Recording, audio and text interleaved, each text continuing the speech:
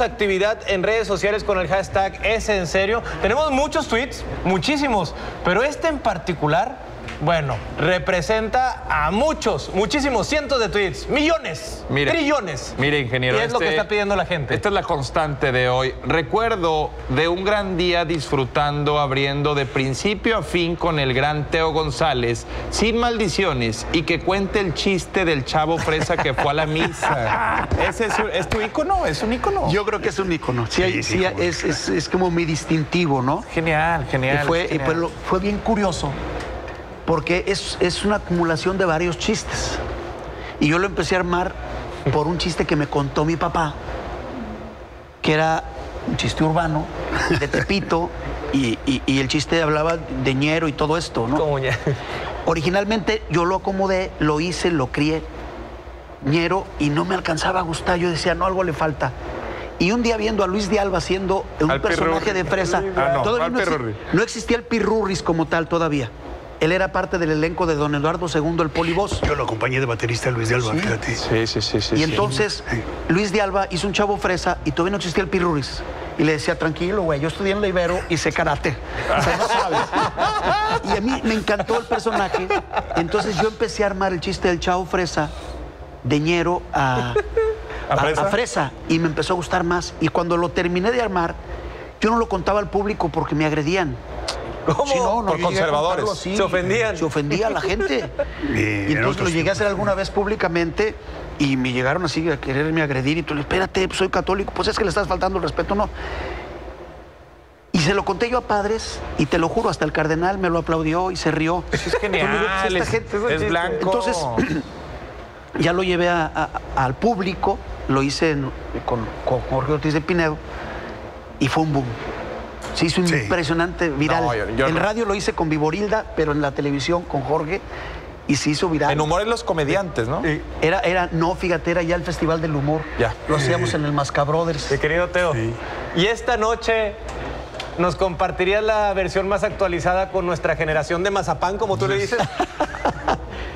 Aunque es muy largo el chiste. Dale, lo haría- dale. Lo haría en remix. ¿Cuánto tiempo dura? ¿Cuánto No, tiempo necesitas? Como Sí, 12 no- minutos. 12 Podemos ir a- minutos. a tomarnos un 12 café mientras. No, no, 45, 12, 57. No, no. Y pa- tenemos Tiene que ser más corto. Ah, Mira, le- hasta el número que pensaste. Versión 7, versión 7 minutos, tal vez. No, quizás menos. O sea, lo podemos hacer un ándale, remix. ándale. Un remix ¿no? la, la versión que... Lo- Voy a quitar la primera parte. Mira, ¿sabes que- qué? Dilo como quieras. Tienes aquí todo el tiempo y de aquí nos vamos al himno y le seguimos con todo lo demás. Cuéntalo Venga. como quieras. Voy a quitar la primera parte, porque es como una introducción que también es simpática y me lleva al comienzo. Ok. Va, Lo voy a quitar. Venga, tú decides, tú Llega el decides. chavo fresísima con su papi que es picudísimo. Le dice, papi. Venga, venga. Hasta el chiste se me olvidó ya de la emoción. Dice, Préstame las llaves. no, préstame. Me dice, papi, ¿me prestas una luz y la nave para ir con los cuates? Al Reven. Y el papi le puso cara de Juat. No te entiendo. Órale. Que si me prestas una luz, o sea, unos devaluados, y la nave, o sea, el carro, para ir con los cuadernos, o sea, mis cuates, al Reven, o sea, a un antro. No te entiendo, hijo. Me he gastado millones de pesos en tu educación y ahora me sales hablando con esa jerga popular. Además, nosotros tan cristianos que somos, ¿has ido a misa? ¿A dónde? A misa. No, pues esa disco no la conozco. A la iglesia. Ah, órale, yo pensé que a mis agarres. No, a la iglesia. Órale. ¿Es donde están esas cúpulas grandotas con unas campanotas que talán, talán? Ándale, mijo, ahí. No, pues la neje no ha ido. Pues vas. Vienes y me platicas qué te pareció y entonces sí, te presto dinero y mi coche para que vayas con tus amigos al reventón. Como dices tú, órale, pues igual y no alcanzo, ¿no? Y se fue. Regresó un rato después, prendidísimo. Papi, qué bueno, en serio, esto de la misa está padriuris. ¿Te gustó? Me encantó. Está bien, Inder Fashion, requete top, ultra mega wow, como quien dice, zumba le recontra chiflayoin. Entonces te gustó, me encantó. Al principio no te creas, yo sacado de onda, como lo traía para el cover. Dije, ¿qué onda? ¿Cómo le voy a hacer para entrar? Pero rápidamente pensé, ¿quién no conoce a los Corcuera y Rivadeneira? Me arrimé hasta las puertas. Qué padres puertas tienen, papi. Labradas al alto relieve sobre madera, nubes, ángeles, soles, relámpagos, lunas, padrísimas. Y ya sé por qué son tan grandes las puertas. ¿Por qué? Para que entre el altísimo. Hijo, por favor, espera, papi. como no estaba el de los cover, pegadito a la pared, como que los muertos me hablaban, me fui colando acá. que me cuelo y que no les pago el cover. Ya estaba dentro y dije, ¿qué onda? A ver si hay una mesa. Papi, no había mesas, puras sillas.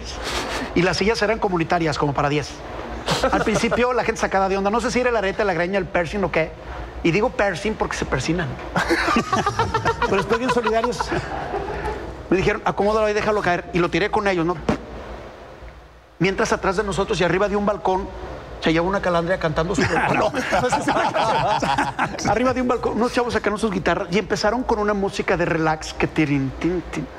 Papi, era padrísimo porque era una serenata, pero al revés. O sea, del balcón para abajo. Qué cool, ¿no? No, no, no. no. Y yo, y yo creo que los chavos del coro eran ecologistas. Ecologistas, sí. Para todo cantaban ozono en el cielo. Qué bueno. y en eso que aparece el mero machín. El mero machín, papi. Yo creo que era el mero machín. Porque traía micrófono y organizaba todo lo que se tenía que hacer. Se viste padrísimo. Traía una guayabera manga larga desde aquí hasta el suelo. Uf. Y encima de la guayabera un zarape como de saltillo, pero bordado tipo yucateco. Y que empieza a platicarnos que la buena onda, ¿no? Que hay que amarnos los unos con los otros. Y yo le dije, chinque, machinque. Yes. Y que empieza a platicarnos de un cuate de él de pelo largo que bien buena onda, ¿eh? que puro amor y paz. Y que había otro cuate de ellos dos que era piloto. Piloto. Sí, uno que se llamaba Poncio, que era piloto. Que primero se lava las manos por esto del COVID-19. Ay, Y luego agarraba a alguien y se pintaba de colores por todos lados y que nos ponía a hacer aerobics. Y que párense y que siéntense y que... Papi, qué dinámica tan padre. Él ordenaba y todo el mundo obedecíamos al mismo tiempo. Parecía aquello coreografía de caballo dorado. Parados, sentados, hincados. Parados, sentados, hincados. Para- Y estábamos en plena coreografía de los héroes y que me llama profundísimamente la atención. Un cuate de este lado, sentado en el baño. A ver, hijo, espérame. Sentado en el baño, papi. Yo creo que estaba enfermísimo. Porque se la pasó toda la misa sentado en el baño. Bueno, ya se le había formado un colorón de gente por un lado y un colorón de gente por otro. Que se le rimaban y como que le decían, danos chance, ¿no? Queremos entrar al baño. Y este cuate no los dejaba entrar. Papito, te lo jurito. Te lo jurito que se empezaron a poner mal todos porque ya se le hincaban. Ya se- no seas gacho, hincado, te lo pido, dame chance, me estoy haciendo, se me sale todo. Ya no me aguanto, se me anda asomando el topo. Quiero liberar a Willy.